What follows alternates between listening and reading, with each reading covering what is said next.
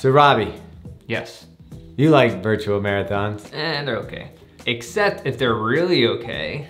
Then they're awesome. And why is the Eugene Marathon virtual so awesome? Okay, so this year they their medals are taken from the old wooden steps at Hayward Field, where pre-raced, doing that thing around the track. And anyways, they made medals from the steps. You know who at else was Hayward there? Field. Bowerman, Yeah, the Nike Waffle Racer. That's Yeah. where it was designed. designed right there. And oh. you can have a piece of it. Yeah, they're probably original waffle racers that walked up those steps. You know. No doubt, no doubt. Anyways, so the medals are made from the wood of the wooden steps. They look awesome. You're never gonna get a medal like that again. It's a collector's Honestly, item. the only reason we did this was because they had a cool medal. I feel like. Yeah. it was like we We're can like, market, okay. we can market. We can do this. So, anyways, check it out. Uh, link in the description to sign up. Save 25% by using code BITR. Don't. What's the code? BITR? What's the code? Just look in the description. BITR. And you'll save.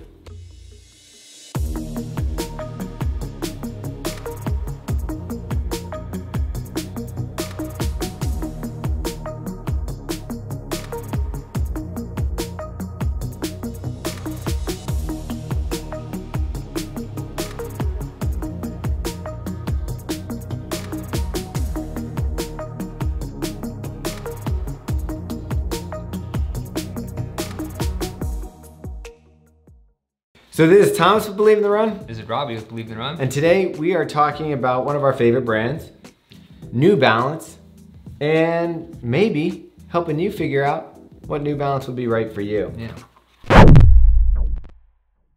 Not old balance. Nope. New Balance. So I guess we could do a couple things. We could talk about shoes with fresh foam, and we could talk about shoes with Shrooms. Yeah. Shroom, shrooms and talk shroom- about shrooms. we could talk about shoes with fresh foam. We could talk about shoes with fuel cell. We could talk about shoes for daily training. We could talk about shoes for racing, and we could talk about shoes that have plates and shoes that don't have plates. I don't know. I guess there's no rhyme or reason to our reviews anyways, so Mm. might as well just start with whatever shoe we look at and think looks cool. Well, I know Robbie, you love this, and this one's a trail shoe. Yeah, let's start So out. why don't we start off with a trail shoe, which has nothing to do with the rest of these. Exactly. Let's get this one out of the way or in the way, I guess depending what you like. The New Balance Hierro V6, we did a video review on this before, I'll put a link up there. And a really comfortable, like a shoe that for light trails or just honestly wearing around. Uh, if you have that REI chic going on. The other trail shoe from them that our reviewers really like that we don't have up here right now is the More Trail. Oh yeah, the More Trail was a very nice uh, high cushion shoe.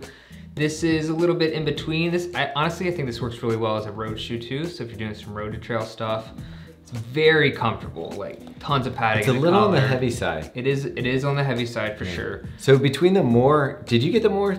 I did, I did. Which one do you like better? Uh, so the More one was like way too small for me, so I gave it to my mom. And it fit her fine.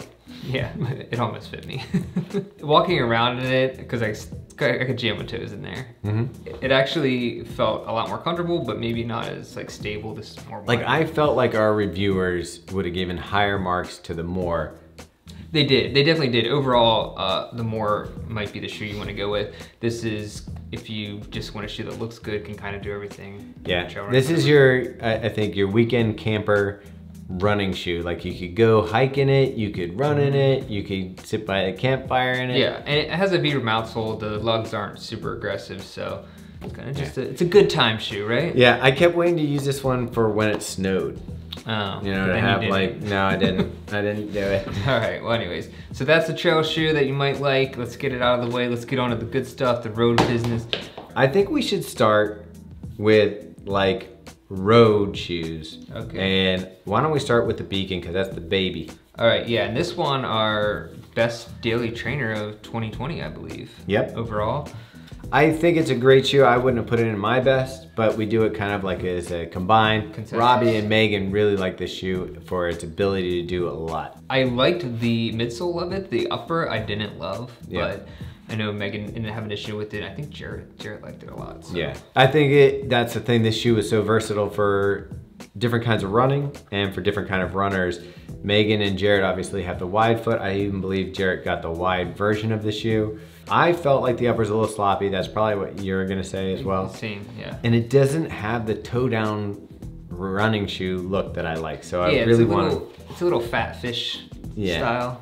Uh, is that a real style? I don't know. It is now. A fat fish. um, but the thing about this shoe was like I went on vacation and this is the shoe I took because it's good for speed work. It's good for easy days. It's it's an all arounder. I even did some trails in it. It, and it worked. It's, I wouldn't recommend it for trails, but it's funny. I the next day I went back to that trail. I brought a trail shoe, and I actually ran faster in the beacon than with the trail shoe. And this really uh, rolls along nicely. I think that's one of the things I liked about the shoe a lot. Very smooth, buttery Yeah. feeling on the roads. So say that you like that, but you want something with a little more cushioning and a little bit more bounce and just can handle long miles. I'd move up to the 1080 V11. One shoe that we're not showing here right now is the 880, 880 V11? 880 V11, which is kind of like the step between your traditional daily trainers. So like your Pegasus, your, uh, what are some other daily trainers that Oh, like the Saucony Ride, or ride, something like that. Yeah, so it fits in that category. This one has a little more cush with the fresh foam. We all like this one's upper in the front. We weren't all fans of the heel counter in this one, but overall, still one of my favorite daily trainers out there. It just feels great on the foot. This fresh foam is the jam. And you know what? What do you want when you have something this good? You want more of it. Okay. Speaking of the more, let's get into that. So So these look very similar and we all always get asked, what's the difference between these? So really, the big difference is lots more. I mean, you can see that. That's just big, big old marshmallow back there. Yeah, and what you get is a wider platform, more cushion, and a better fitting upper. So overall, this shoe ends up being an amazing daily trainer. Now it's a little heavier at 11.11 ounces for a size 10 and a half or 314 grams, but both Megan and I felt it rolls through the stride so well, the rocker bottom. So this one is a more traditional running shoe. I think this is a 10 millimeter drop. And this one is a four millimeter drop. Okay. So you get a very much of a rockered feel, steady platform, lots of cushioning. Well, and you thought this is basically like the better Clifton now. I That's what it is. Because Megan loves the Clifton, you love it. We and- both love this. And you were pretty surprised by this because last year's version kind of sucked, right? Yeah, it was, there's a couple issues with the last year's version. The More 3 though comes through shining. It feels great underfoot. Even though it is a little heavier, it doesn't run heavy at all. Like when we were running that, both Megan and I commented on how smooth and easy the pace was to maintain. Do you think that when they were like figuring out the name of the shoe, that someone's like, oh, dude, it's the end of the day. uh, More? There's more of everything. Yeah, what, what's the there?" difference between these two? Well, it's just more. Yeah. cool. Yeah, it's probably You really went down the creative rabbit hole with that one, Yeah. Balance. But I kind of like it because it's easy to remember. Yeah. I mean, And some it- of these people have those 20 word names now. And it's true. Yeah, it is true. Of these, I gotta say, I think that for Fresh Foam, the more might be, the more three might be my favorite. Okay. Second favorite's gonna be this guy. I haven't tried the 880 yet. It's supposed to get here soon, but I have a feeling it's less and I want more. Yeah. So fuel cell, what's the difference between Fresh Foam and fuel cell? So Fuel Cell is New Balance's lighter, bouncier, Super critical? super critical foam. Probably our favorite compound Have you tried New the Balance. critical foam? the no, it's I don't try things that are Less than super? Constantly criticizing me. Okay. I don't know why I work here. New Balance Fuel Cell, really one of our favorite midsoles out there, depending It's on a lighter, bouncier, just fun, energetic, energy return midsole. The fresh foam is all about comfort, still get a nice bounce out of it. The fuel cell is bouncier, more, I don't know, just spring-like. It's just that feeling that you want these days, Yeah, right? you do. So let's talk about a shoe that's just coming out that isn't even on the market yet. Oh wow, we're going into Let's going start with the. Lerato because it's something new. the Lerato V1, first one.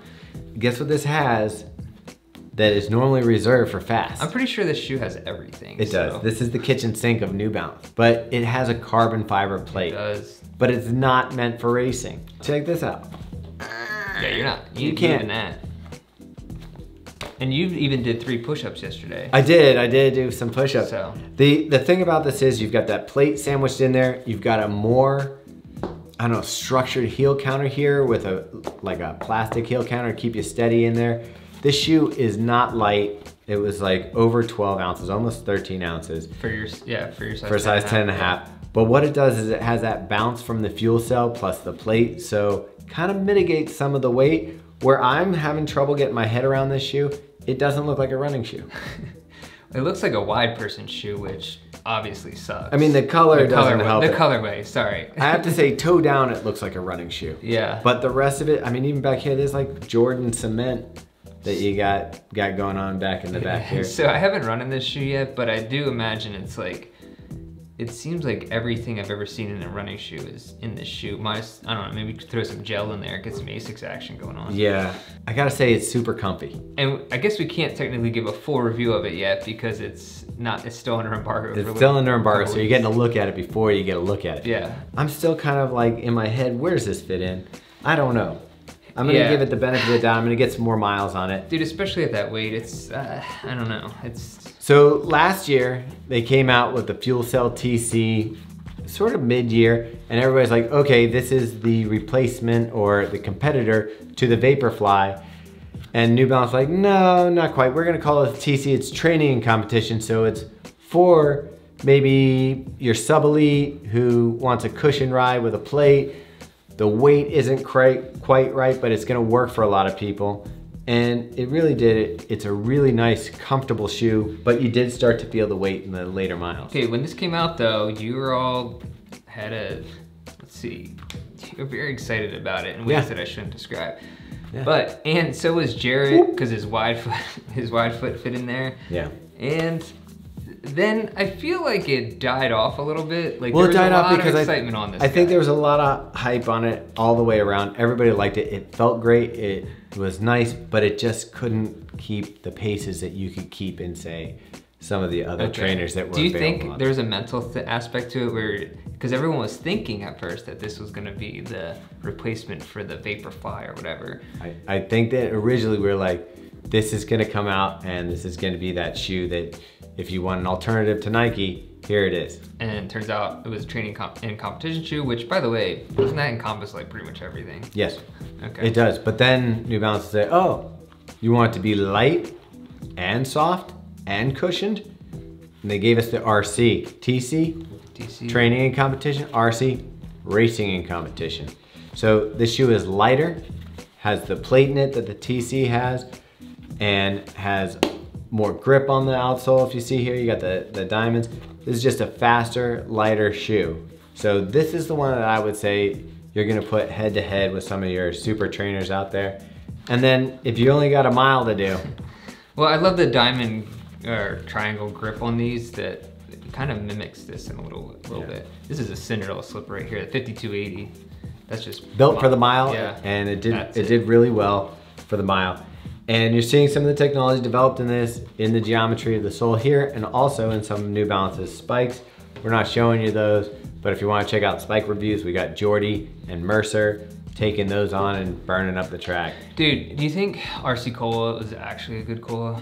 I, that's what I think when I think of the RC. well here's the problem rc cola was sort of the knockoff of the pepsi and the uh, coca-cola and if we were calling the coca-cola the vaporfly maybe this is the rc cola. Oh, that's probably- of, of shoes That's probably why they called it that. and then you come to Ooh, here it is, baby. the rebel The canary, 2 the which canary, the butter, which this one would be you know this is your dr pepper the Dr. Pep. Ooh, Yeah. Doctor is in. Now I love this shoe. This this one did really well for all of us who wore it. Um, pulling off a piece of foam. Well, so talk about the Rebel V1 first because that was like, it's just a totally different shoe, right? Uh, pretty much. I mean, some of the geometry is the same. So here's the Rebel V1, and you can see it has the lateral edge that flares out. They kind of calm that down a little bit. And the idea behind that is when you're going through your stride, if you rolled off that edge to your big toe, you got more leverage from your stride, creating more efficient stride, more efficient runner, faster times. So they kind of took some of this and evolved it, and I think they did a really nice job. I didn't love this jacquard upper. I actually had to learn the word jacquard just so I could talk about Just this so shoe. say so I'm gonna say it again. This shoe comes out and I'm like blown away because the upper is amazing, feels good. This upper is so airy, what they've done here, it kind of would remind you a little bit of an evolved version of the uh, Skechers with the, what's that? Oh, like the mono, mesh. mono mesh upper. It's like an evolved mono mesh where it has extra stitching in to kind of create the support so it's not just like a tight fitting like mesh. It's got structure to it. The offset lacing here is, is dynamic, it's great. I love the heel counter. It doesn't have a gusseted tongue, but the tongue works. It's very soft against the heel. Some people complain it's too big. Didn't bother me at all as far as size.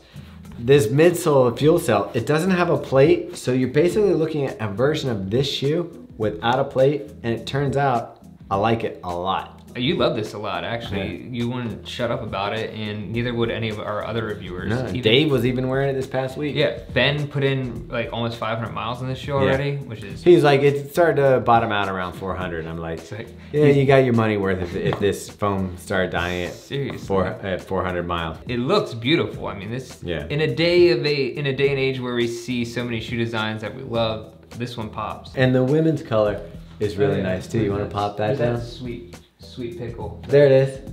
That thing to say? Look at this. Woo! I mean, I don't know. It's hard to say which one looks better, to be honest. I like the yellow because when you're looking toe down, but I would like that one too. Okay. Your toe down is coming at you. Hmm. And you're like, wow, I feel like a streak.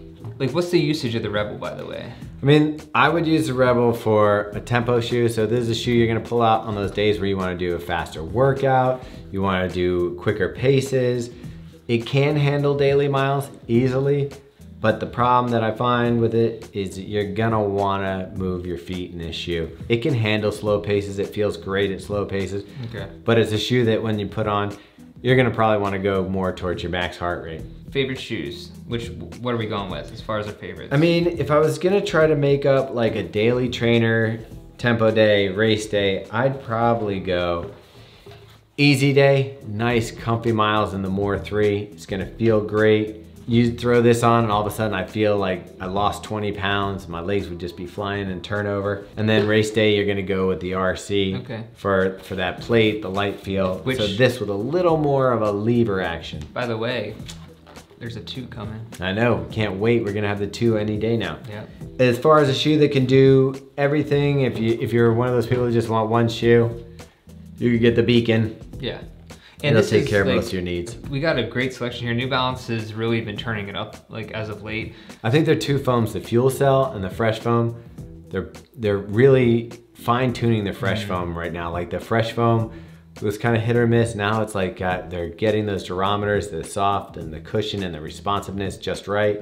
And the Fuel Cell too is coming in more like Yeah. firmer, softer version. So you can really f- figure out Sorry. what you want. Crap. So yeah, we don't really cover any of the stability shoes. Sorry about that. If you're a stability guy, obviously a lot of New Balance shoes come in wide. You can check out our wide shoe roundup on the website if you have questions about those. Yeah, because New Balance is one of the few companies that uh, really Caters to the- to the. We both said caters. Caters, yeah. We worked Caters, caters. Worked in the restaurant industry. Yeah. That's why. Yeah. All right. So hey, you know what time it is? It's time for you to hit that like button. Mm-hmm. It's time for you to Actually, it was- subscribe and it turn was- the bell on. Apparently, we haven't been telling people to turn the bell on. Make sure. Yeah, but it isn't time for you to like it because you should have done that in the very beginning. Ah, as yeah. soon as the first word comes out, hit the Bing! like. Like, or when you get the alert, if you're a subscriber, bing, like, um, we have one guy I'm sure that I know, like, as soon as he gets subscribed, because like one. he hits the down one as soon as he gets it. He like subscribes to us just to download. I videos. appreciate the dedication. Yeah, I mean, it's a lot of work. Inconsistency. Uh, he's like waiting by his computer. When are they gonna post what if something? what if you find out it was me?